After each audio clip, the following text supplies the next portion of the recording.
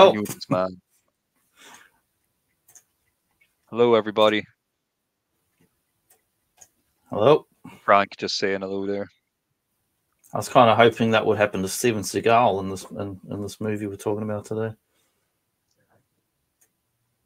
What are we talking about today, Jonny? I'm glad you asked because we do have a hardcore special report Excellent. letting us know what this movie might be about. Letting us know the truth. Of course, uh, the Hardcore Special Report is also on the same network as the Boba Jo Show, so Oh, it is. like giving it a little plug. yeah, I, I I love the screen grab. I definitely save this for future future use. I'm definitely going to use this on other things. But yeah, we've we've got some nice still images here that tell us we might be talking about the Warriors, but we're not, even though it might look like it. We might be talking about RoboCop 2, but we've already done that. We've already talked about that movie, even though it seems seems a lot like it in this seed here. It could be Moonraker based on these weird silver jumpsuits, but I don't think it is. It could be Lethal Weapon because there's a lot of Lethal Weapon DNA here. There's a Joel Silver producer and a couple of guys from the same movie. And Arnold's definitely not in it. And it had nothing to do with wanting more money or anything like that.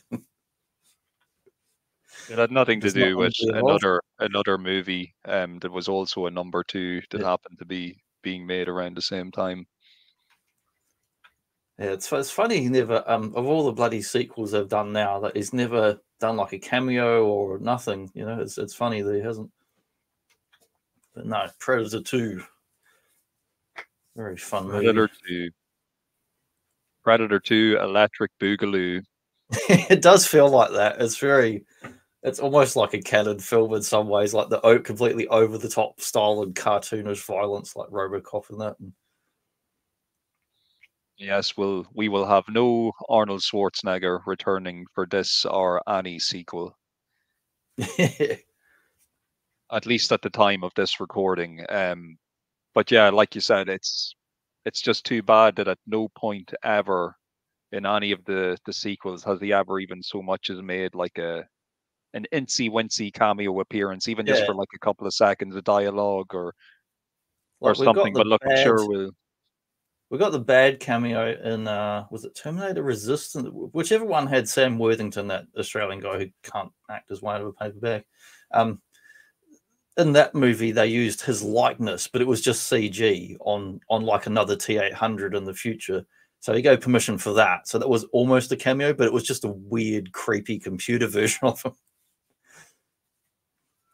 Yeah, we don't even get some, um, you know, some kind of cursory flashback or Hmm. any type of footage. Like, is you know, this this movie is is ripe with opportunities to try and interject Arnold in in some way, but it does not happen. Yeah, even, even in Aliens, you had like in the, the briefing with Ripley, we got to see some of the other cast on the screens. Not even that. I mean, obviously, it would have been had to been paid for that, even for a still image or whatever. But I do think, from from what I understand, um, maybe apart from money or contractual issues, the the main kind of pull factor for for Arnold not being attached to this movie is T2. T2 was in the midst of you know being made and produced around the same time as this, and there was just they weren't going to get him on board for for Predator 2 Yeah, but you do kind of have to wonder, and I, you could probably say this about a lot of kind of 90s era movies, if they had just well, waited. just James Cameron of the nineties. It seems like he held up so many movies with his productions because people want to be in them. if they just waited another year or two, if they just said, okay, look, we're going to we're going to leave this and we're going to wait until Arnold actually is free. We're going to pin him Hmm. down. We're going to get him Yeah, to sign on. Could have happened. Could have happened, but it didn't happen. But you know what? In a way, I am glad it didn't happen because it means we get to talk about Predator 2 the way it actually was made. And it is, it's one of those movies, I think it's an underrated sequel. I think it's a very strong Yeah, sequel as far as these type of movies go. Um, in my eyes, at least, it's the best of the Predator sequels. Obviously, the, the first one will always be on Yeah, I a, think so. a pedestal. It's the law of diminishing returns with a lot of these science fiction sequels. Um, you want to kick us off into the opening scenes here? I'm just going to tend to something for two seconds and I'll be back. Work away. I shall. I shall. So we open up with footage that's kind of flying over a lot of like foresty woodland. I think it's supposed to get us thinking about the environment from the the first movie when they were in Valverde but instead, as the camera um, pulls up, we see it's actually the outskirts of Los Angeles. And this is uh, the futuristic Los Angeles of 1997, uh, which is quite the year um, because I'm pretty sure Escape from New York uh, was set in 97 as well. Uh, must have been an awful year. I don't really remember it being that bad. I actually had a pretty good 1997, but you know, as according to the events depicted in this movie, 1997 was quite a bad year, uh, especially if you're living in in Los Angeles. Yeah, it's got like a mix of the um, I don't know, it's got the feel of the LA riot stuff, and then mixed with like the violence of RoboCop. Yeah, and and violence is is one thing that this movie has in in spades. So we we kick off, we get our, our opening titles, we get some brief moments of the Predator heat vision. It seems to be zooming in on this uh, battle going on on the streets below uh, between the cops and uh, a gang. Massive, massive shootout, ridiculously violent. We're seeing cops getting killed, we're seeing gang members getting killed. Uh, we have like a news crew on site that are um, kind of broadcasting live. It's hardcore uh, TV with uh, host Tony Pope uh, presenting live from uh, from the the location, and yeah, we're just seeing chaos uh, erupt on the street. Uh, cars blowing up, cops being being shot, and while all this is is going on, um, Tony Pope. He's given us a rundown. It's a city in chaos, and the the cops have lost all control. And as he's kind of uh, giving us this rundown, he's almost hit by a car who's been driven by Danny Glover, who plays the role of Harrigan in, in this movie. He's making his grand entrance. He's he's driving in to to help some some fallen comrades, some some cops who've been injured. They're still alive. They're in the middle of the street, and Harrigan pulls up. He he opens up the the trunk of his car. He pulls out a couple of big guns, and he and he goes to work on the on the gang members who are out in the street. And uh, we also we also see uh, a couple of the other kind of main characters introduced here, which are uh, Harrigan's pop buddies. There is Danny, who's like his like kind of best bud and then there is a lady cop whose name escapes me. Perhaps you can pull up like a cast list or character list. Yeah, yeah. I, I usually know her name. It's like the three part name. yeah, um, yeah. I know her. Her actress name is a long one as well. I can't think about it. she. She's in the Running Man. I can tell you that much. That that much of my memory is working. So but, the uh, actress is Maria Conchita Alonso. That's her name, and she's Leona Cantrell. Leona, yes, that's right, that's right. So yeah, Danny and Leona are also introduced in these opening moments of of chaos on the street. Everyone's and, armed to the teeth on those openings, like crazy. Oh yeah, these these gang members. So we are we are led to believe that these these are the the El Scorpio gang members. Um, basically, there's a big drug war going on in LA between two gangs. There's the King Willie's uh, kind of voodoo mafia, and there's the the Scorpios. So they're they're battling it out for control of the streets of LA, and Harrigan and his crew are just trying to do what cops do and bust these guys and and put an end to the to the crime wave that's that's plaguing the city. But they really have their work uh, cut out for them, as this uh, opening kind of um, these opening moments demonstrate with with the big shootout.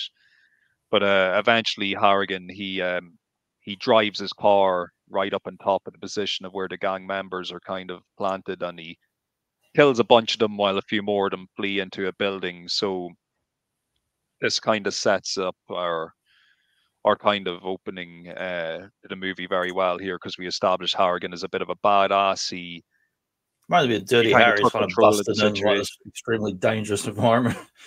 Oh yeah, and he's and he's definitely not a cop who's going to be, you know, restricted by the rule book in, in any way, um, because he's told not to pursue the gang members into the building, but he he totally ignores those orders, and him and uh, him and his two partners go in, and you know they begin making their way up through this this building where the the gang members have have have kind of retreated into.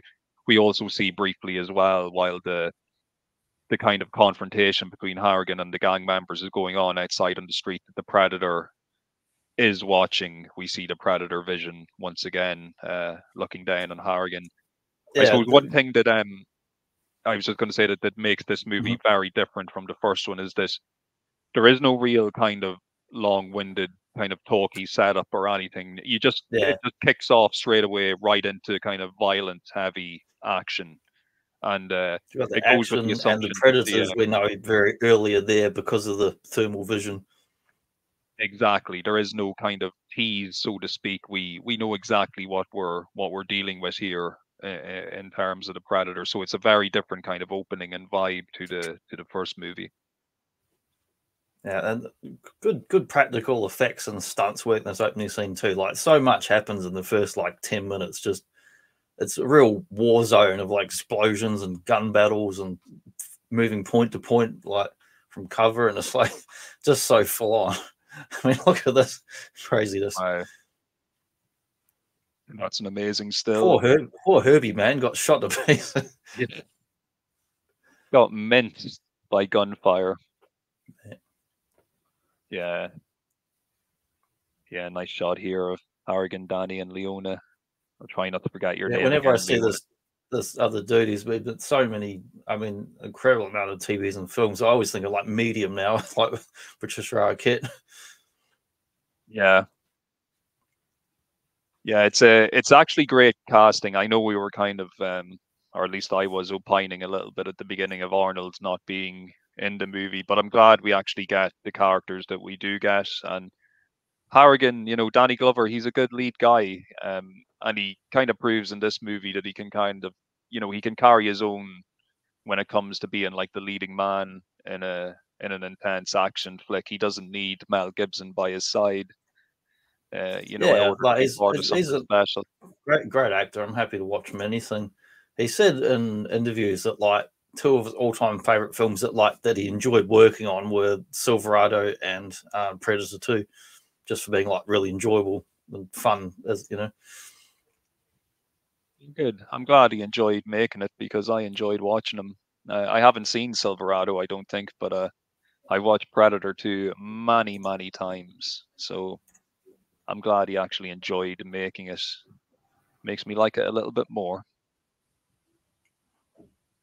Like God, that scope on his pistol as well is pretty cool. I yeah, they all awesome. have it. it. Must be like their um their standard issue firearm for the the LA cops in '97. Yeah, well, it's that Warzone thing too. It's like all the bad guys have got all these illegal military grade weapons, pretty much, and then the cops have having to kind of match up and get something so they don't get massacred. Speaking of massacred, there's the three gang members that Harrigan dispatched of. Uh, I mixed up Ruben Blades with a different guy. I apologize for that. Well, look, I didn't know anyway. You could have just went along with it, and I wouldn't have known any better. Oh, just well, he's Ruben Blades has been in a hell of a lot of stuff in the eighties, and the other guy I was thinking of who's also been in a hell of a lot of stuff in the eighties. I mixed him with another another actor who's been also a lot of like you know crime and cop stuff and things like that. I love the uh, the aftermath of the carnage here as they're discussing pursuing the the gang members inside the building, going against orders from downtown. The chief has said nobody is to enter the building until the feds arrive, but Harrigan, he's like, nah, fuck the feds, we're going in. And I love the um long like we're seeing all this cool um stuff in the foreground here, you know, set dressing and the gang guys are dead and the you got the cars, but you can look down the whole street and see there's like um just guys everywhere and cars like the, the, the, police cars have like blockaded the street. But you can see that whole street going right back. It's like what an awesome shot and also just what awesome like um like set dressing style reminds me like those long shots and um like Escape from New York and that where he first lands in the in the prison New York and you see the long long street where there's just garbage and stuff everywhere. Fantastic uh, location shooting and for for anybody who's interested, we we saw in one of the um you know the previous screens there the the hardcore logo, but you can actually watch on YouTube the raw footage of all of this scene um, being filmed from the point of view of the hardcore television camera crew. And they really do shoot the entire street. And like as they're, oh, cool. you know, kind of moving down the street, you can see that there's action happening everywhere. And, like and like Jonny was saying, like they really, like they blocked off this entire street and just created this chaotic scene that just it's just uh, it's amazing yeah the location um shooting in this movie is is second to none it's it's really fantastic man we uh we got a great moment here um uh, inside the building where we we see the remaining Scorpio uh, gang members, you know, getting ready, you know, and uh, when uh, two of the like two of the guys here, by the way, are actually in the first Predator movie. They're two of the rebel um Oh, guys oh, nice. that get killed at the beginning of the movie, but they're back here again playing uh, you know, generic gang members and one of them takes a big like takes a big line of coke he's like, Scorpio is ready, you know, while they're all loading up uh, all their guns and and getting ready and just as they're all kind of coked up and ready to go, the uh, the glass above them smashes and we just see a brief glimpse of the invisible predator jumping down into the room. Cuts back to the corridors and uh, Harrigan and his team they're making their way up and they're they're hearing all these screams and gang members like being killed and stuff and next thing uh, one of the Scorpio guys he bursts out the door into the hallway he's got his two Uzis he's just running and shooting and screaming he he kills a couple of cops and he and he runs up the stairs. Harrigan pursues him and uh, the guy he runs up out onto the roof and he's acting all kind of bug-eyed and crazy and Harrigan's got the gun on him. He's like, you know, LAPD, freeze. And the guy, he kind of looks over Harrigan's shoulder, and once again, he can see the kind of invisible shimmer of the predator. So he opens fire, and Harrigan guns him down because he thinks he's opening fire on him. And yeah, yeah, this is another another moment of Harrigan just being a badass. Yeah, most of the effects work is pretty good in the shot. I mean, uh, all the practical effects look amazing, and some of the other stuff can be a little dodgy here and there. Like where, where you see the invisible predator for the first time in the still image, it looks really strange and not as good as the first film. But then later in this film, it looks a lot better when they're doing the same effect on a different background. Yeah, and I think at at this point in the in the technology that we're using for these effects, it the background really did make a difference. Like obviously in the mm. in the first movie, the jungle can kind of the waving the waviness of the leaves and stuff kind of adds to the shimmer of the cloaking device, yeah. and it just kind of it just hides it better. Whereas when you see it here against like a flat background, yeah, it's kind of exposed. It's just not. And you can tell it's like someone's tracing around an image on, you know. Although, um, looks pretty good for the time, I have to say, even if a little. Yeah, it's still a good effect. Just just to, compared to later in the film, it blends much more seamlessly. Whereas here, when I was watching, I was like, man, that really stands out compared to the other stuff. But the thermal vision so, looks uh, great. Oh, the thermal vision, yeah, and I always love the thermal vision effect. Uh, anytime I play like uh, as a predator in any of the AVP games, I always, you know, stick on my thermal vision before I go on a on a hunting spree. But um, we see as well after um, Harrigan has gunned down the, the Scorpio gang member who takes a tumble off the roof. Uh, it's established also that Harrigan is afraid of heights. We see that Danny kind of has to go up onto the roof and calmly get him to come down, and he's kind of reassuring him, you know, and consoling him because because yeah, Harrigan just can't deal with heights at all. So they go back downstairs, they go into the building, and they go into the room where the where we originally saw the the Scorpio members kind of getting ready and, and loading up, and they find a, a pretty grisly scene of you know bodies strung up, and all the Scorpio gang members are dead, and they're kind of left. The cops are left scratching their heads because they you know, they couldn't see anybody come in or out of the building. Someone seems to have gotten into the room, killed everybody within a couple of minutes, and managed to to string them up as well, all without the cops seeing anybody enter or leave the building. So that's a bit of a head scratcher for them. And uh, as they're as they're leaving uh, the building, Harrigan is confronted by his his boss essentially, who's played by Robert Davi, who we've seen yes. in the likes of Die Hard and Raw Deal and I, I, I love many other movies. Um, scene here because it's like um, he comes in, you can see he's wearing a badge, you can see he's part of like law enforcement, so it's like meant to be the force of good and order and the chaos, but how is he dressed? He's dressed all in black, just like if you've seen Robert Mitchum with a Western, he's the sheriff. But if he's all in black, he's not not going to be a good guy, is he? yeah, and you know he's uh, his law and order is bureaucracy. That's it. It's all like you have to do things by the book. You know, how's this all going to look? And you're, you know, it's all that type of you know mindset when it comes to policing. Whereas Harrigan's just, uh, well, I'm going to do whatever I have to do to get the job done type of guy. You know, fuck it if I have to kill a load of guys and blow up a building. that what has to be done, then that's going to be done. It's like, look, it's like just like look. I watched all the did all the Dirty Harry movies. that's, that's how I work. Yeah, I know what I'm doing. You know, I can. I got this cop shit under control. We do and also see briefly. Urban, urban jungle war zone here, and like realistically, if you're going to survive, you can't be a by the book person. You're going to be dead in a week. Oh yeah, like and you know this it, it, you know the even from these kind of brief moments at the beginning of the the movie like we do get the the impression kind of hammered home that the city is in a complete state with what's going on with these gangs uh, you know cops being killed civilians being killed gang members being killed by rival gang members and uh, you know it's just it's just a crazy you know ultra violent ultra violent situation and add in on top of that that it's supposed to be unnaturally hot uh, weather as well so it doesn't help. We've got a city sweltering in in blood and violence. Uh, we, we do see for a moment here as well, just a very brief moment um, when Harrigan has been cooled off. We see a helicopter land and a lot of very kind of official looking kind of secret service type dudes um, kind of getting out of the helicopter and meeting up on the street and going into the crime scene, um, which is our first kind of glimpse at Gary Busey's character, who's who's yeah. going to be playing a, a pretty significant role in in this movie. So we um we cut to the um the cop station.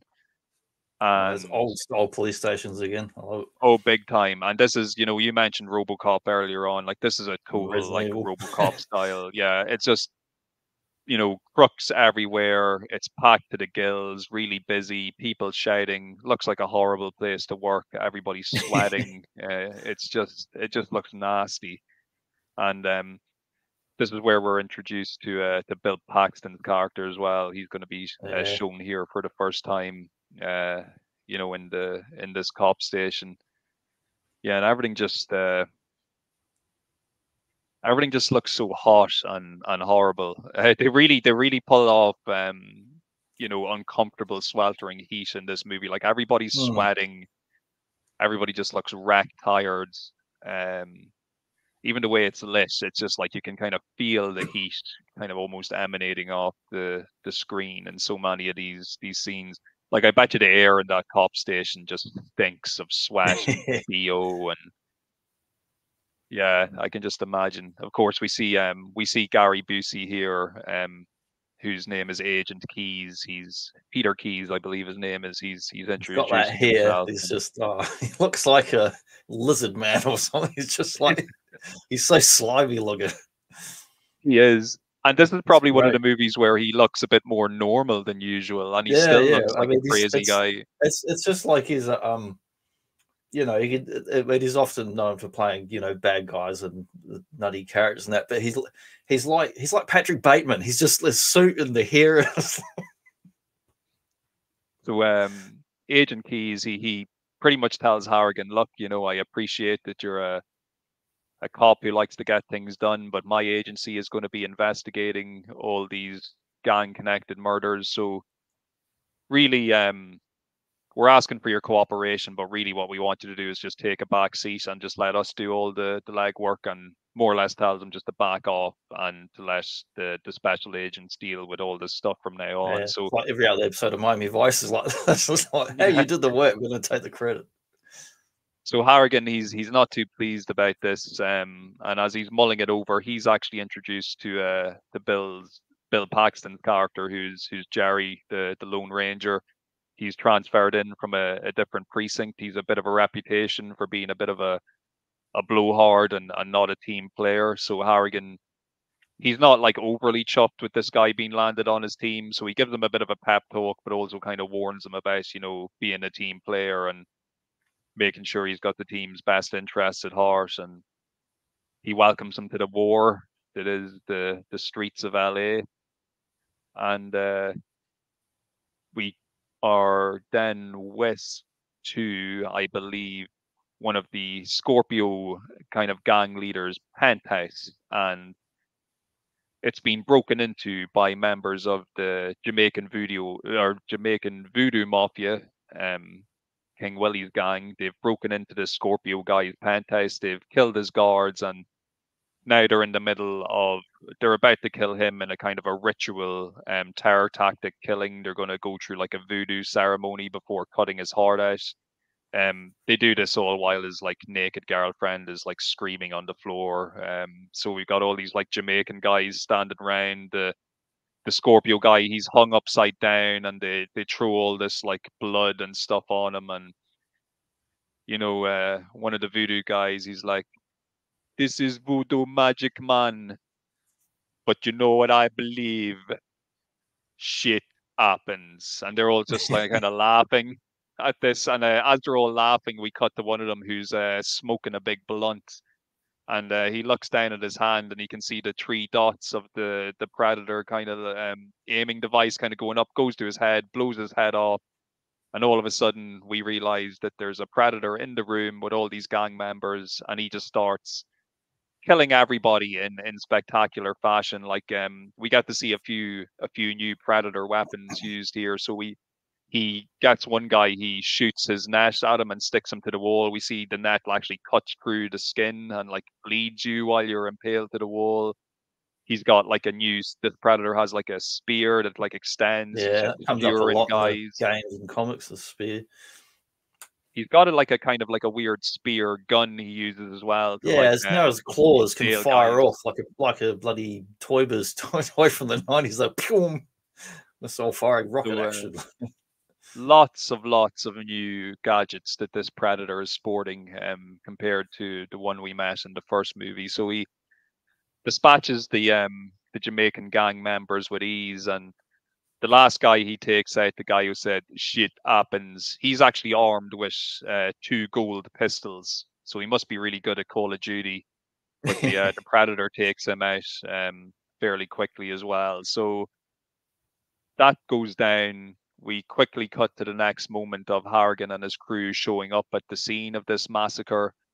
They're um, trying to get into the building, but once again, they're being told that it's uh, not their jurisdiction anymore, that the feds are handling these investigations and just a butt out. But of course, Harrigan being Harrigan, he goes on up there anyway and he starts looking around and we see uh we see a few of these hanging.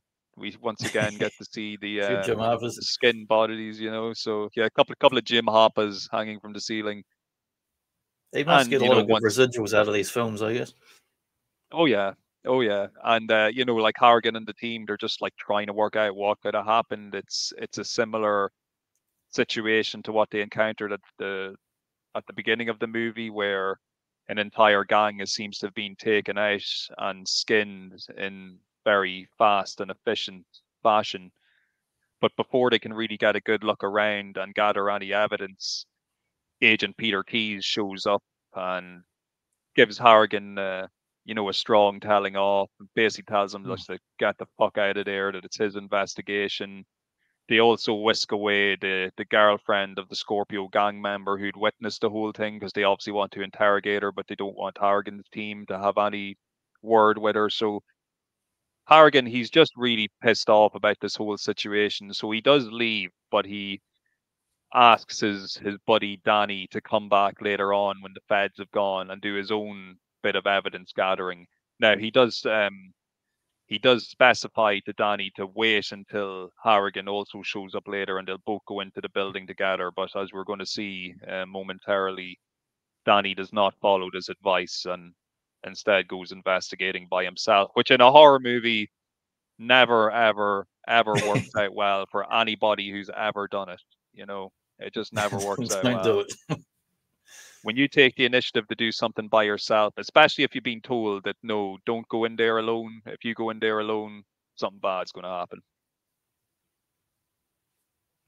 Definitely don't go in alone. It's not a good idea. That's the yeah. guy getting. I love the sparks and then the the blood splatter behind him on that cold. Yeah, it's actually it's it's one of my favorite moments in the in the movie is this uh, massacre of the Jamaican gang members. The similar effects, just like little fireworks type of sparkle things, you know, but it looks so cool. And here, look at look, and the predator's still invisible. So, and then, but then this obviously the spear is not invisible. So seeing the guy get skilled is like, what the hell? There was also a nice little callback during the gang massacre to the first movie because there's a brief moment where they're all kind of standing in a line and they're just shooting. They're just unloading all the clips, but instead of shooting yeah. up a jungle, they're they're shooting up an apartment. But it's very mm. reminiscent of that scene in the first movie where the the guys are just shooting into the jungle. So um, yeah, we see here Danny. He sneaks back into the building um, alone, like he was advised not to do.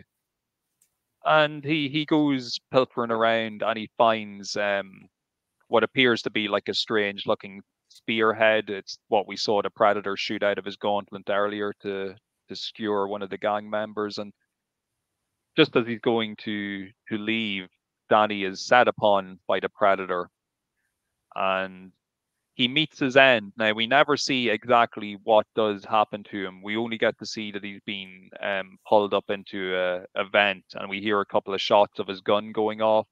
But we do see this the um, the kind of Aztec style necklace he's been wearing so far throughout the film has been pulled off his neck. So that's going to um, be something to take a note of uh, later. Um, now that Danny has actually been killed off, it's probably a good time to mention that it feels like his character is almost an echo of the character of Billy from the first movie. So yeah. in the first movie, you had Billy, who was almost this tracker guy who could like sense that there was something other than a human enemy that they were dealing with. And the character of Danny, who's just met his, his demise here, he was a little bit like Billy too. He was constantly kind of, you know, looking around and suspicious of things. He was always kind of clutching this little necklace, like like Billy used to do in the in the first movie. So there's definitely a kind of a character callback there, even if he doesn't end up, um, you know, surviving for much of the movie. He's killed off pretty early, but so um, he gets got and all of we we we find out that Harrigan's getting into a lot of trouble here because it's um you know it's kind of known that Harrigan kind of told them to to be there and Harrigan's superiors uh Robert Davi are are giving him awful guff about the death of a detective and Agent Keyes is also kind of like well look you know back off stay out of this it's none of your concern but Harrigan, you know, he's taking it personally now because one of his men has been killed. So there's no chance of him backing off. So basically, the remaining members of the team, Leona and Jerry, they're given assignments. Jerry's pretty much told to to keep tabs on Agent Keyes and see what him and his his team are up to. And uh, meanwhile, I think Leona is told to to go chat to the coroner and and see if she can get any information about what happened to the you know just on on like any evidence they pulled from these bodies that have been found at these locations like that weird piece of metal perhaps yes exactly a, a, weird piece of metal that does not show up on anything that we've recorded on the periodic table yeah they got the um later what have they got? The, um, yeah, I think they've got a. Th- yeah, there we go. Recursive atomic analysis. So they're showing, they're looking at what, what it's made out of from the you know metal or metals, and it's like, well, we don't recognize this. It's probably not from Earth. yeah. pretty sure I have an app on my phone that can do that exact same thing. but, yeah, yeah. So this yeah, that that spearhead, the weird looking spearhead that was found, has been examined, and it's determined that it's not of this world. So um, Harrigan has arranged a meeting with the Jamaican voodoo posse's leader, King Willie. You think they watch the Ninja Turtles because they put their hats on? Like as soon as you put their hat on, nobody knows who you are. Yeah, you're in disguise mode now, guys. disguise. So, uh, so Harrigan, he's picked up by uh, a car full of King Willie's goons. They're all smoking spliffs. They're having a great time. Uh, even when the car pulls up, how do they see when they drive? There's just so much smoke in the car. And uh, when they drop uh, Harrigan off at the the meetup spot, uh, even as he's getting out of the car, there's there's tons of smoke coming out, and he's coughing. He's like, "You guys really need to cut down." so um, he goes to meet King Willie, and it's a very unusual place to meet like the top top boss of like a criminal gang. It's right in the middle of an alley, and yeah, apart from the guys who drop, yeah, like the the guy apart from the guys who dropped off uh, Harrigan, like King Willie has no security or anything with him. He's literally just standing out in the middle of an alley, and you know King Willie. Um, we don't get to see too much of him in this movie, um, but he is a a really great character and very kind of memorable character. So he's he asks why Harrigan has wanted to meet him, and Harrigan basically lays it out. Look, there's there's somebody in town who's killed my people. He's also killed your people, and I'm I'm suspicious that you might know who it is that's doing all this killing. And you know, King Willie, he's a real kind of like voodoo priest type of character guy. And he's like, I don't know who he is, but I know where he is. He's from the other side, you know, and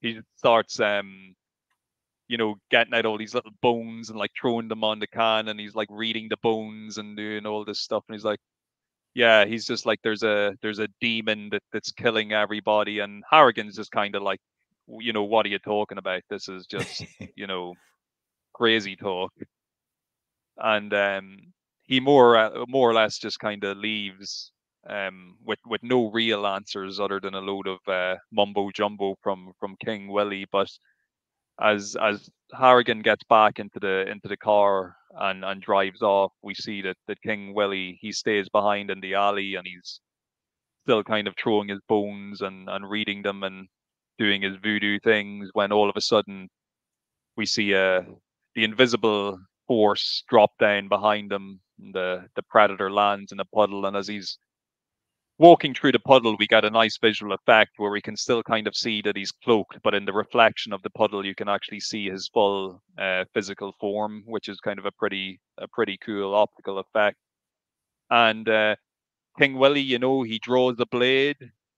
He's ready to die. You know, tell me now, Babylon, and uh, he gets beheaded pretty quickly. He's dispatched yeah, pretty quick. He's he's yeah, he doesn't last long at all. We see in that nice little still you have there on the on the bottom of the screen his head being carried uh, by the predator um, to a trophy room where it's going to be cleaned and the skull is going to be shined up real nice to be put on a wall display that we'll get to see a bit properly later on and we'll get to find out a bit more as to where the, the predator is is keeping his his trophies so yeah, the the murder and mayhem continues. So we've had Danny Boy being killed. Now we've had uh, King Willie being murdered in the alley. So Tony Tony Pope back with another hardcore special report.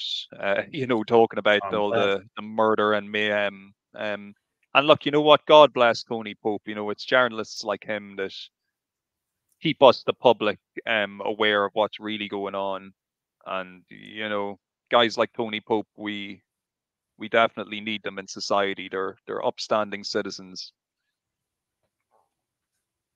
He probably likes to smoke as much with those Jamaicans, I reckon. Yeah. Just too bad they're smoking tobacco and, and not the other stuff. Better for you.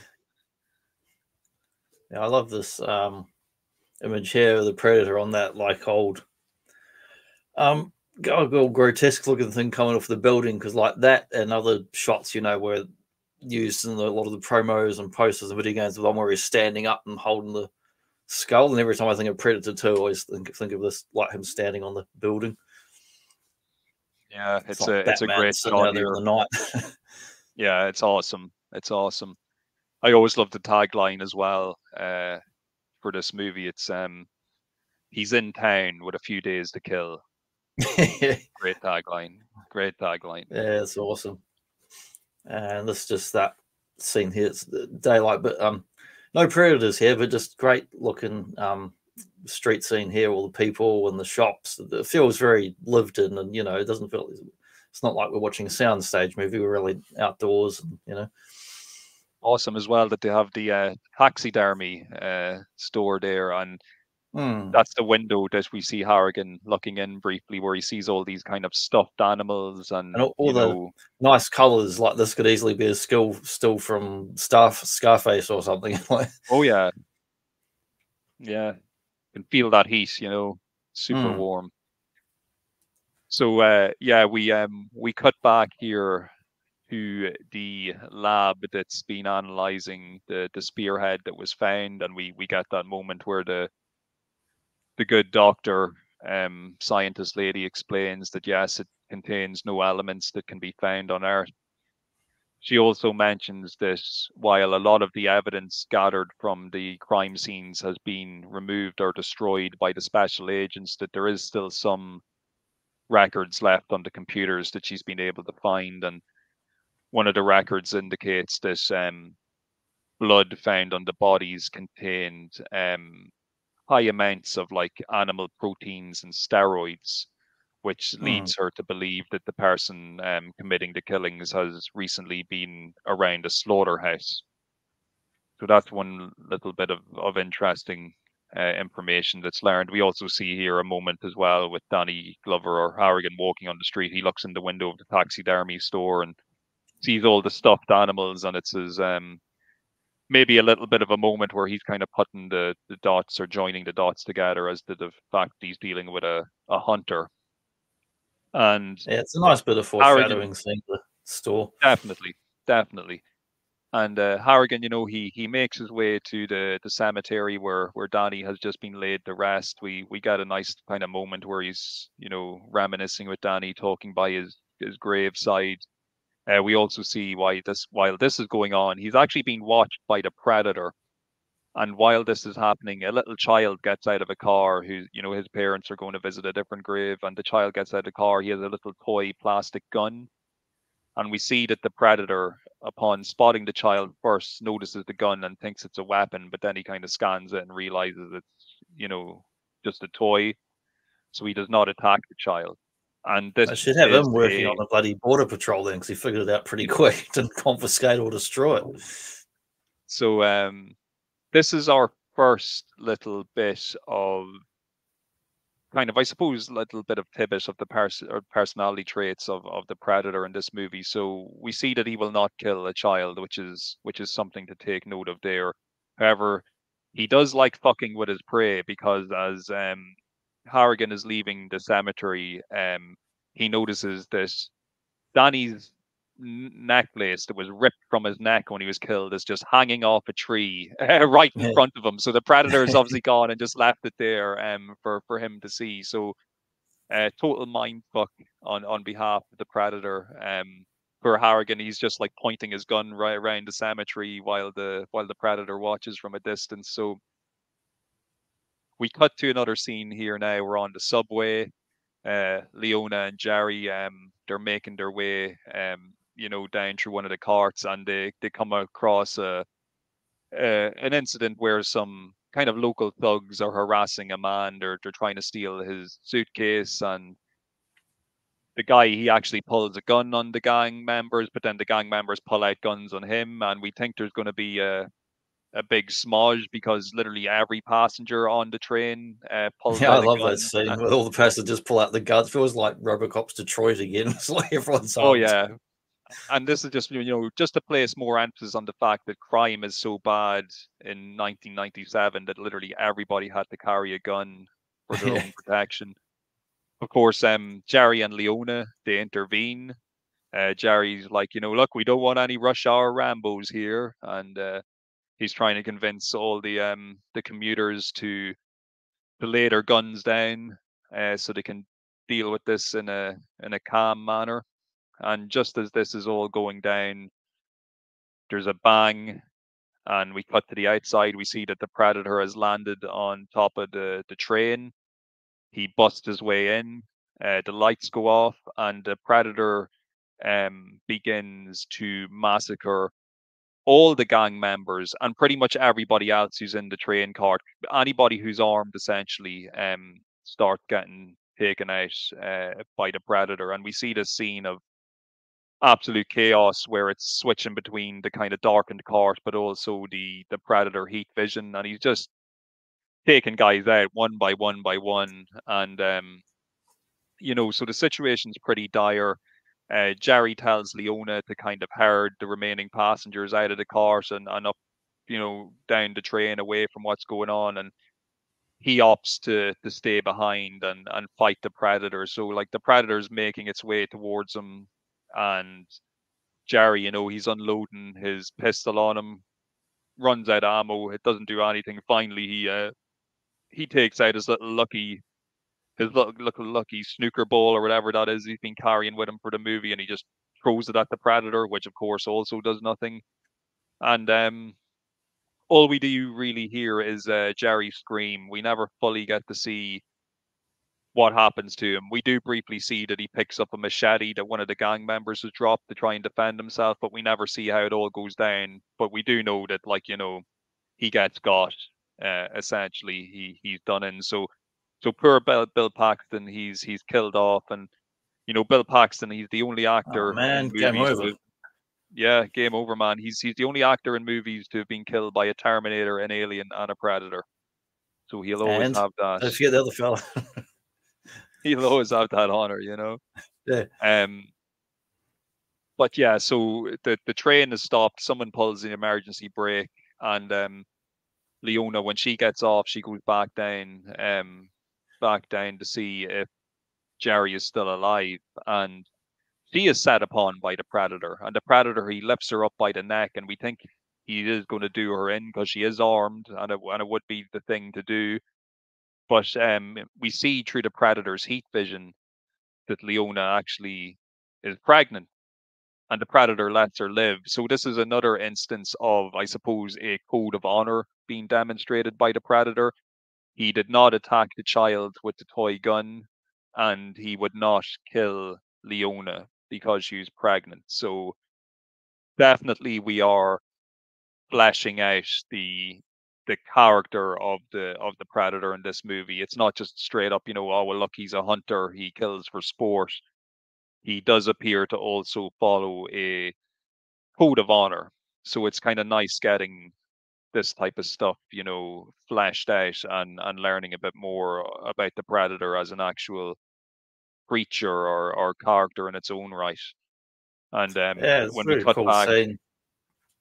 oh, it's a really cool scene. It's a really cool scene. Um, I, like it. Just um, finally, poor passengers. Like you just want to get on the train and commute and go home, and it turns into bloody midnight meat train. It's just a massacre. Yeah, total massacre. A total massacre. And um, when the when the police chief is trying to like you know when Harrigan comes down to investigate what happened and the police chief's like oh you know I don't understand. You know it was cops were killed gang members were killed and civilians were killed. It doesn't make any sense. Harrigan is pretty quick to put together the fact that they were all armed. Seems to be what they all have in common. It's like everybody that was killed had a firearm. So you know, he's definitely putting the Iggy together that that this there's a, a hunting element to these killings. Mm.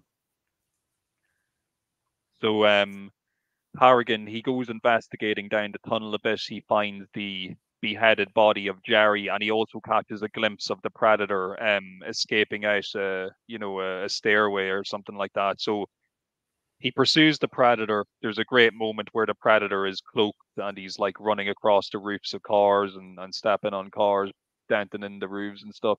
These are great shots, by the way. The punks. Look at the face on that guy. Yeah. For Jerry there, the Lone Ranger. He's about to, to meet his demise.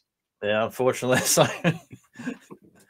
And uh, yeah, that's probably a skull that we see here on the predator's back as he's um, we get to see the predator Yeah, climbing up the side of a building. And uh, one of the uh, the kind of promotional images Jonny mentioned earlier, we we see here as well. The predator, he uh, he kind of holds his trophy skull in the air while while raising his his spear as as lightning strikes. It's a great um, it's a great visual. And uh, this whole time, of course, Harrigan he's he's been pursuing the predator, and he tracks him down to the slaughterhouse district. But just as he's gotten close and he's about to, to enter the area that the predator has fled to, he's intercepted by Agent Keyes' team, who ram his car, and they pretty much apprehend him and they bring him into this control room. And it's explained to him exactly what's been going on. So first of all, Heath explains this his team is like hunting this extraterrestrial life form. He says that they know it is a hunter, that it kills for sport. They make reference to the first movie where they say that in 1987 that one of its kind tracked and killed a, a special black ops unit in the Valverde jungle. So they've been watching this creature for a long time, or these creatures, I should say, because they believe that they're coming to Earth regularly um, when it's very hot and that they're hunting uh, humans. And um, you know, Hargan's kind of like, you know, well, what's the deal? Like, do you admire the son of a bitch? Like, why do you want to? What do you want to do about it? And he's explains to them that basically they're looking for the predator technology that you know they know that it possesses literally futuristic out of this world technology and they want to get their hands on it so their their plan is to to essentially capture the predator so they can like interrogate it and quiz it on its technological advancements and we see that their their plan is because they believe that the predator can only see in one field of vision they believe he can only see in infrared so their plan is to kind of host the funky suits. slaughterhouse yeah they, they they put on these big gimpy moonraker suits and they, like tinfoil They- suits. they coat the interior of the of the slaughterhouse where all the meat is hanging um in a kind of weird like freeze powder so it uh, you know the predator supposedly won't be able to to see. And they have uh, the team go in armed with these kind of like freeze guns that they're going to try and like essentially stun the predator freeze it capture it. They're, they're they're not trying to kill it. But this plan it it completely backfires on them because they they go into this this um this slaughterhouse and they're all there waiting for the predator the predator arrives and yes he he looks into the slaughterhouse and notices that he can't really see because his heat vision does not seem to be working.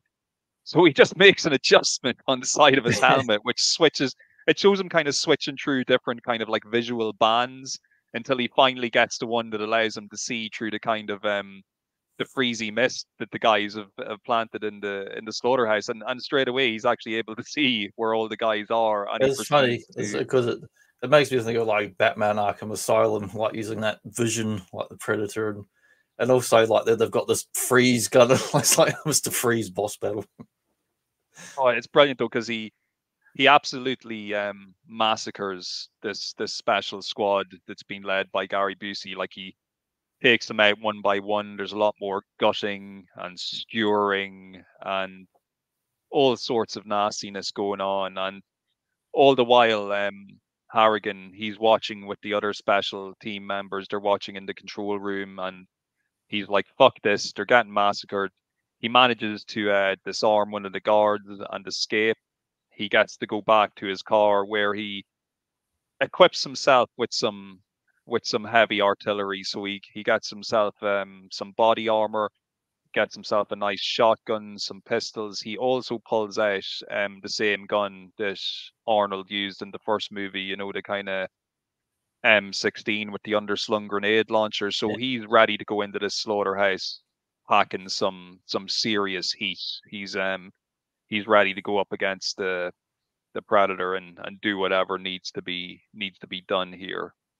Yeah, nice, Like, it's nice just lovely shot. consoles inside their little special ops van. And I, I do like in this film, there's, there's so much action in this film that we get one of two things I love in a lot of 80s films. We see lots of cool monitors and um, phosphorescent screens, but there's no phone acting in this film that I noted. Oh, Not a lot because there's No too busy, too much action going on. We didn't have time for the phone acting, but we get some cool screens here showing of the, you know, the meat packing plant and that, and the sensors. More monitors. this feels like this could be like Escape from New York here, like the oh red. yeah, hundred percent. Like Lee Van Cleef is just off frame over there. Great shot of the predator there as he's watching uh, the team below in his in the meat factory or the, the slaughterhouse.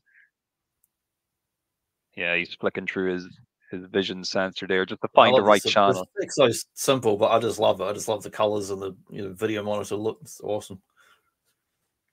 And a lot of video games that allow you to play as a predator will allow you to do the same thing where you can kind of switch your Hmm. your field of vision depending on the type of environment that you're in. Until you get a headache and then switch to another vision. So uh so Harrigan he enters the slaughterhouse. He he comes by the predator who's just in the finishing moments of of mopping up the carnage he's after committing.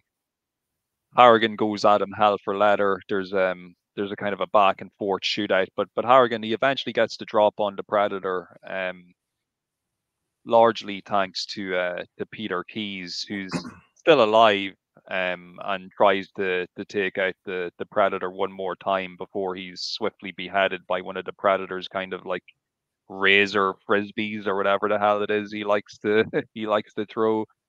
So um, Harrigan, yeah, he's able to get the drop on him. He hits him numerous times at close range with his shotgun, and we see like the that glowing green blood from the predator just like kind of bursting out of him as each of the each of the hits of the shotgun get him and you know the predator he collapses to the to the floor and harrigan uh, approaches and he realizes the predator's wearing a, a mask so he takes the predator's mask off which i don't know why he felt the need to do but he's obviously would just you do that? curious um and we got we kind of got the first look at the the predator's the predator's face and you know harrigan he he goes to say arnold's line from the first movie. He's about to say you are one ugly mother but he's cut off as the predator awakens. He puts his hand around his throat and the predator's like motherfucker.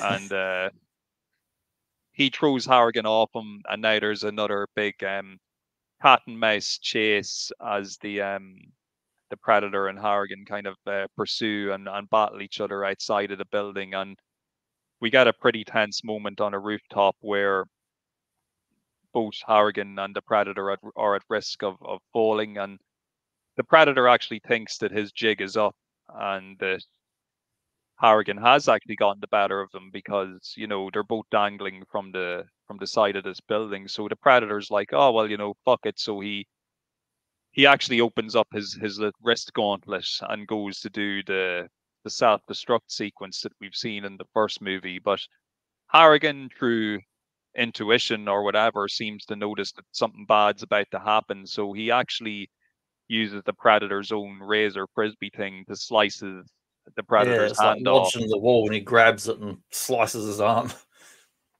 And uh, predator, he goes flying. He is able to um to kind of stop his descent a bit by digging his his claw gauntlet into the wall to kind of slow himself down as he's falling. Um, meanwhile, the um the self destruct has been disengaged due to his arm being chopped off, and um, we get some nice moments here as as Harrigan is trying to like calmly get himself down off the building and and shimmy down on some pipe.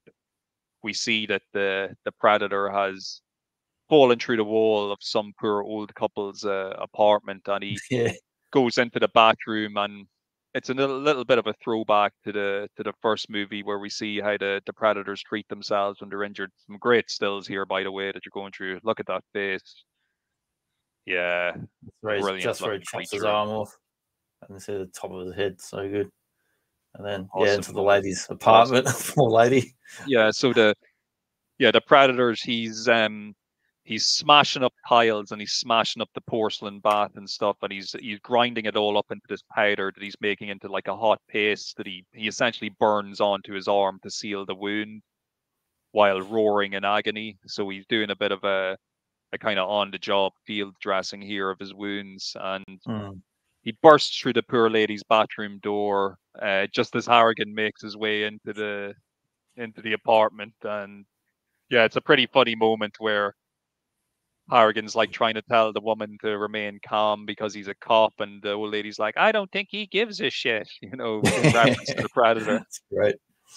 So, um, the pursuit of the predator um uh, continues with Harrigan kind of following it down a shaft, which actually leads to like an underground tunnel beneath the building, and in this tunnel is what appears to be an alien spacecraft. So Harrigan very bravely enters the craft and he walks into this kind of red orange kind of misty area that you see here but he also comes across the predator trophy wall and on this wall we see many interesting things you know including human skulls which you'd expect to see from a from a predator hunting humans but we also see some weird like dinosaur looking skulls and strange alien skulls but we also see a xenomorph skull like an Yeah, actual so both on Fox alien Studios.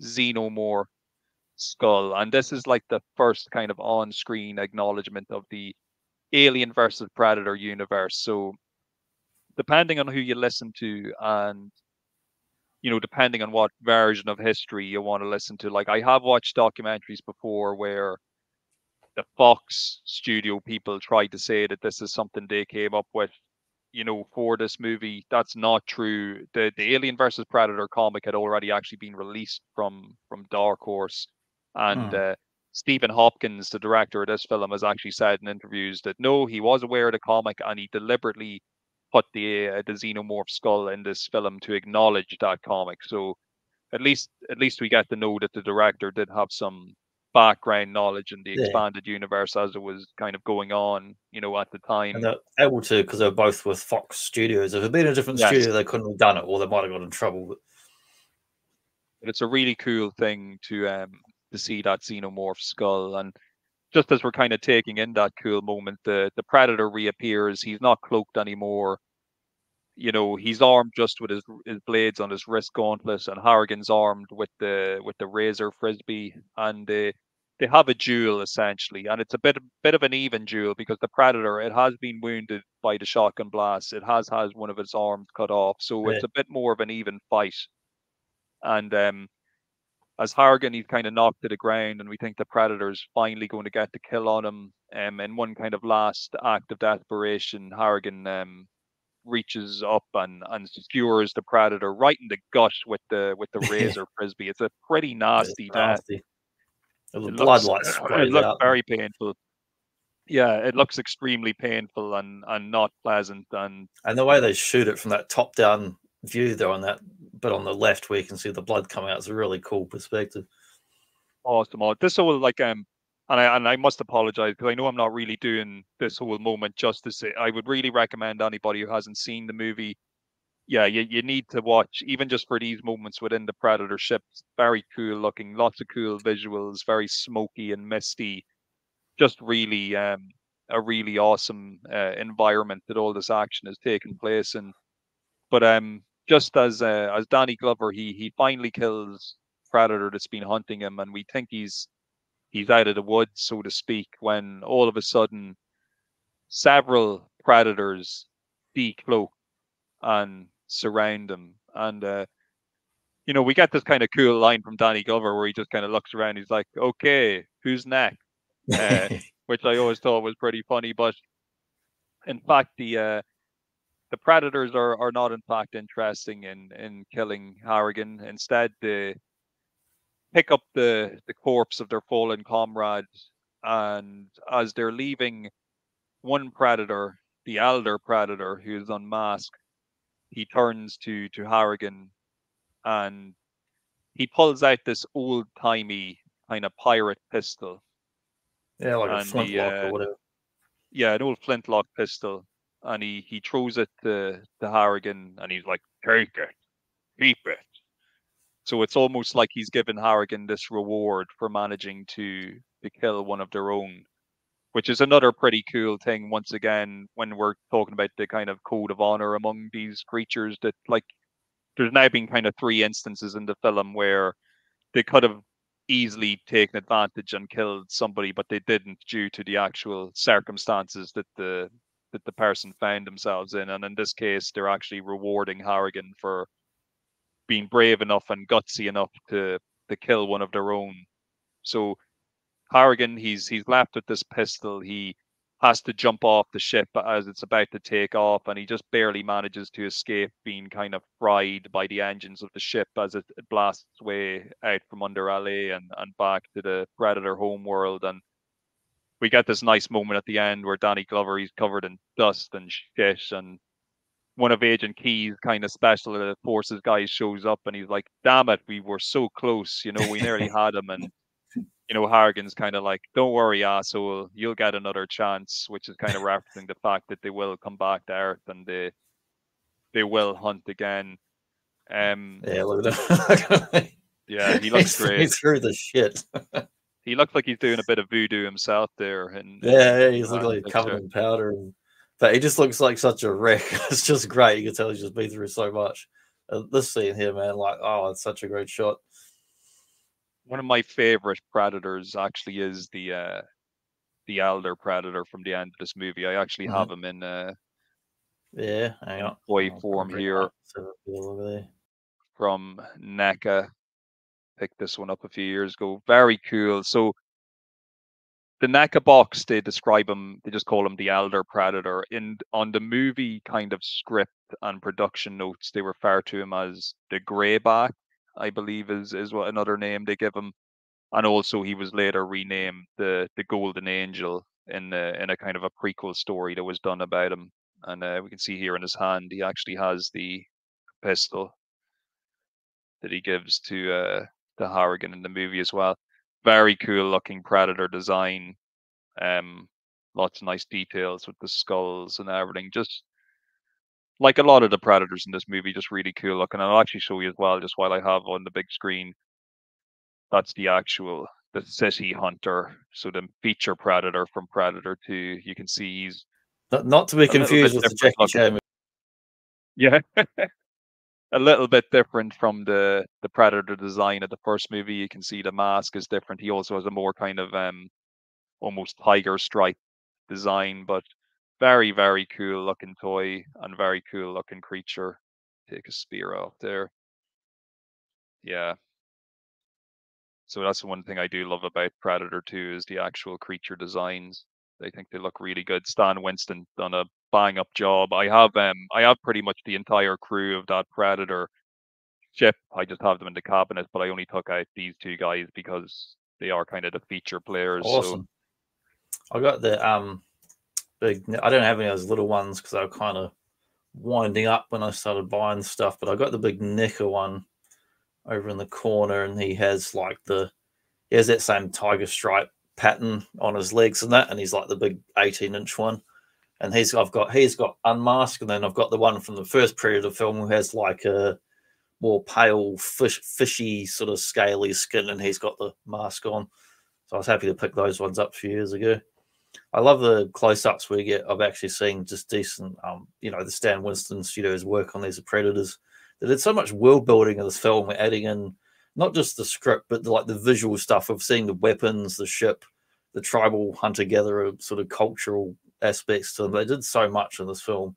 We already know about the you know the weapons from the first film and some stuff, but seeing like a whole group of predators, lots of shot, shots of them up close and out in the open, and like, they just did so much amazing work with the you know creature effects on this.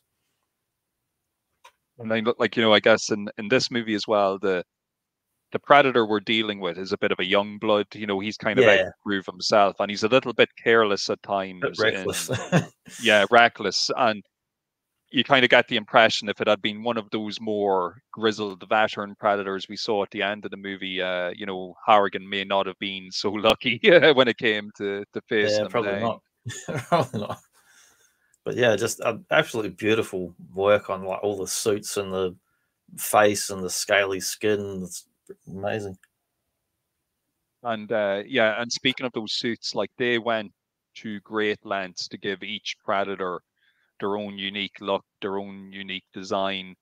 even though you only see them for a couple of minutes at the end, um, Yeah. You can look them all up if you Google image just the Predator 2 Lost Tribe. You can look at individual pictures of, of kind of each of the predators, their their mask designs, and, and just everything else. It's just it's phenomenal work that the the studio did on on designing these. Yeah, it's cool because it shows that they're um, you know, they're traveling ships to different worlds, and they all have taken trophies from different um, creatures and whatnot. So it helps explain their different, unique looks. So how do you feel about Predator 2? Um, I, I I love it. Like I felt didn't, I didn't see it the first time I saw it would have been on TV, so I don't know how much they censored. Probably a fair bit of the blood and guts. But even if you censor every bit of blood in this film and the full dripping blood, and you know we don't see so much close-ups of skinless people, and this is as in the first film. It's more kind of in the background and mid-ground. Um, even if you sense all of that, it's still a horrifically violent movie with all the gun violence and the shooting and everything else going on.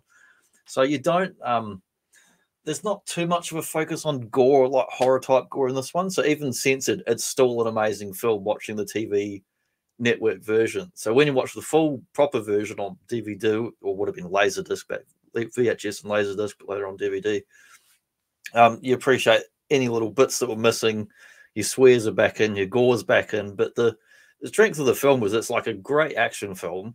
It's a great visual effects and practical effects film and it does go for a different style than the first one. I mean, they're both they're both over the top, but this one is more purposefully so over the top with the action and the style, like RoboCop and Detroit City. You know, it's it's it's a little bit pastiche, a little bit comic booky in that, but and like the gangs, like we've seen plenty of movies with gang violence, so we know it's definitely going.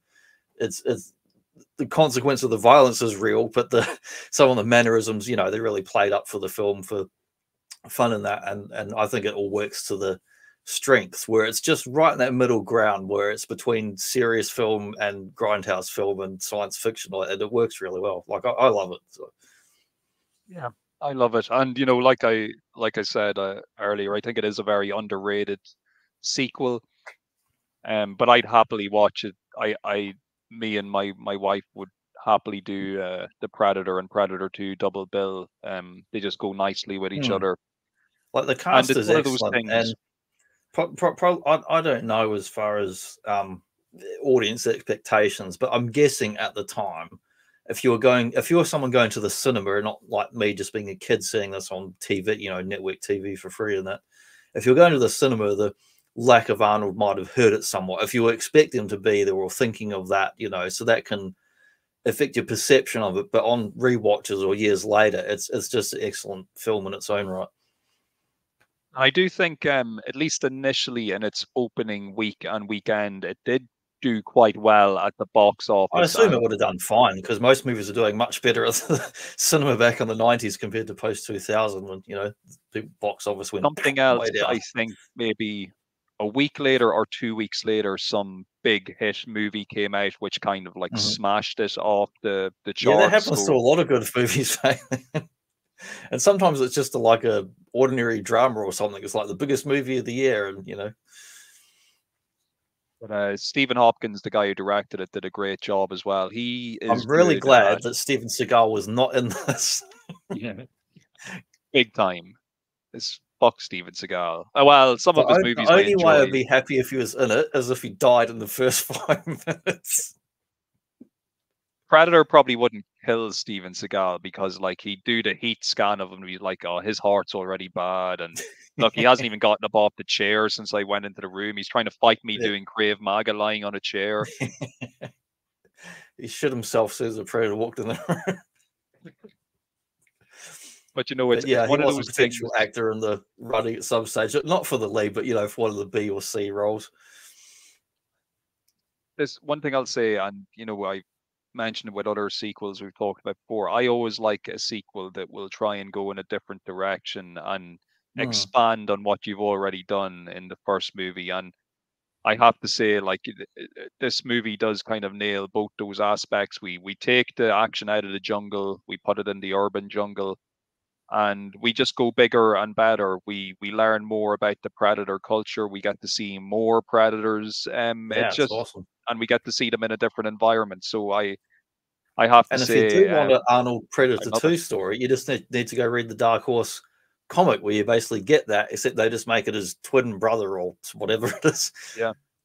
And if anybody is interested, if you if you just look up Predator Concrete Jungle, um, yeah, that's the one. well you'll get you'll get two returns back if you look that up. The the one you should be looking for is the actual comic book called Concrete Jungle by Dark Horse, but there was also a PS2 video game released called Predator Concrete Yeah, Jungle, which is a yeah. totally different thing. It's actually a fun game, but it's got nothing to do Hmm. with anything that we're talking about. But you know, look, look up the comics, try and read them if you can because they are fantastic.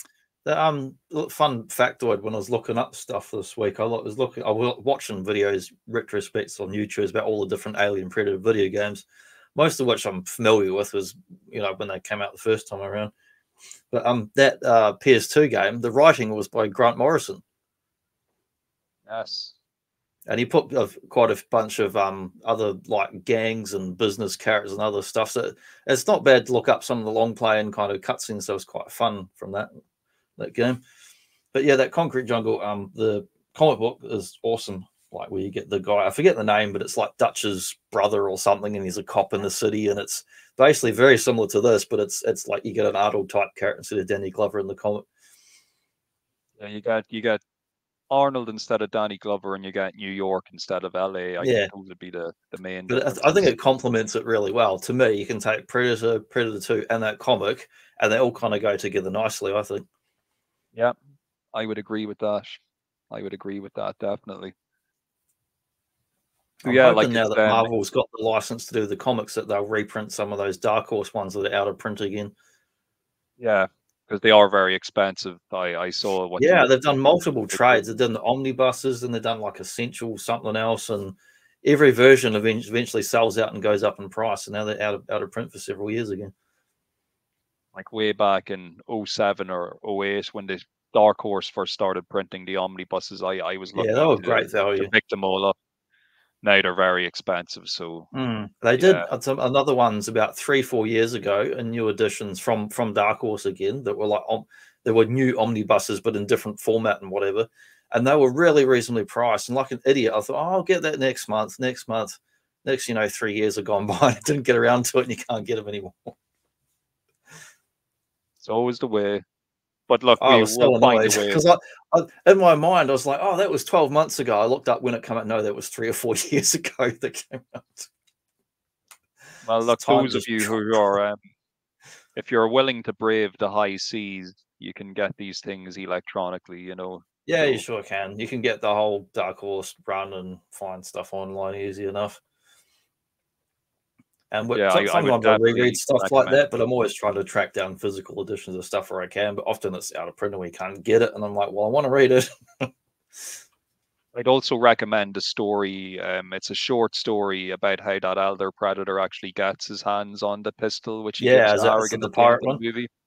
That's right. It's the pirate one. I'm sure that's since been retconned because of that new Prey movie that came out last year or whatever. But um, who cares? Go look it up. You'll you'll enjoy it. Yeah, love that.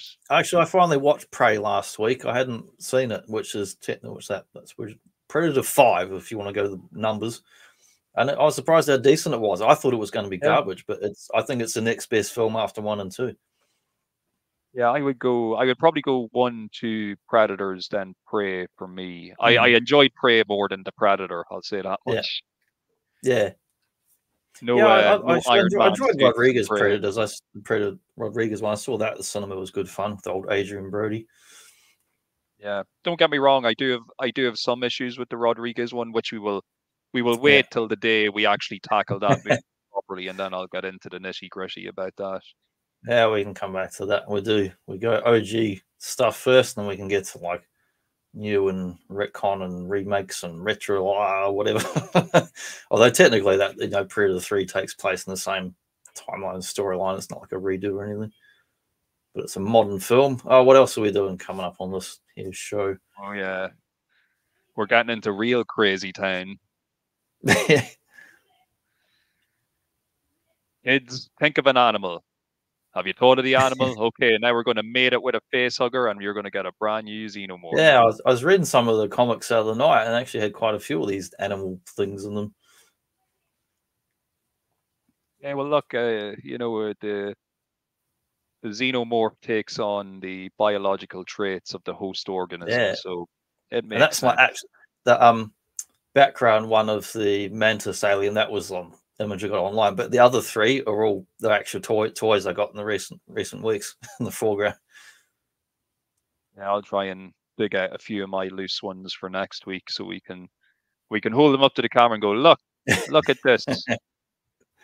What do you think of it, Jim Harper? You got your commentary on these weird aliens, Jim Harper. yeah, He's not just Jim Harper, because this week he was actually probably one of those Jamaican voodoo guys. Well, he's a very Shit talented guy. He plays a lot of characters. It's tough when you got no skin. You've got to be Frank and Hellraiser, and you've got to be Jim Harper and Predator, and but I guess you, you're This kind of right typecast if you've got no skin. See, folks, this is why racism is silly, because we all look like this on the inside. We all We're taste all just as like delicious it. barbecued Yeah. for the Predator. Arr. Bit of beef jerky. But Harami. yeah, and one, one week's time we're doing the Kenner Aliens toy line, and um, I will warn you, it's now up to 100 slides, so it will not be a short episode. Because I've got the entire, I've got the entire Aliens toy line, and there's a couple of Predators pop up, but, but we will come back to the actual Predator version because it's like two toy lines in one, where it kind of spills over into other stuff. And the following week, we've got some other stuff to talk about. Um, we'll talk about some more toy things, but we've also got Mark's done some cool videos of his NECA Predator collection, the NECA Aliens collection. So we've got them saved or, or ready to, they're all ready to go during like those shows and that, as well as we'll play some of those during the Alien one as well. But I thought, yeah, we can do like a super show, talk about that whole kind of 90s. Um, we've got Terminator, we've got Robocop, we've got Aliens Predator, we've got toy stuff, you got comics, we've got films, but yeah, we can just like go where we want to and get into these topics, as well as still do individual episodes on other full movies and whatever down the line. I'm sure everyone wants to see Robocop 3, they're just hanging out for that one. Oh yeah, they're just dying for us to do. Got Kruger Robocop. from Industrial Smelting, George's Boston Seinfeld's in Robocop 3. Yeah, folks, we're on the march to the big 50, not long to go now. And uh, each week just keeps getting better and better for me. Anyway, I just love talking about this Yeah. stuff. I just like seeing some carnage. Yeah. Do you know where I got that quote from? I'm guessing the Running Man, is it? Uh, Well, the video game that's based on The Running Man, All right. Smash TV. Yeah, the Running Man. Someday we'll have to Yeah. we'll have to tackle that. And the exploding heads from like the best exploding head film ever, like Scanners. Yeah. Love scanners. But yeah, I just thought, what's some carnage I could put in some guts to go with all these films have got full of guts and stuff, and I thought, gotta put that in. Well, look, it's wholesome family entertainment based Yeah. on R-rated movies. boys and girls, children of all ages, but don't actually show it to your children. We don't take any responsibility. It's funny. I I really enjoy that stuff. Even like the hokey Marvel Comics RoboCop that was based on the uh, animated series. It's I don't know. It's it's not. I wouldn't say it's a good comic, but I still enjoy it for what it is. Yeah. Oh, look, we'll always you always find some good in this stuff. But yeah, that's it for this this week. Predator Two, classic kick-ass action slash sci-fi film. Old Danny Glover. Go watch it, folks. It's good fun. Of of all the number twos you could do, it ain't the worst. Definitely not. It's one of the good ones. Okay, thanks in. I'll catch you all the next time. Take care, folks.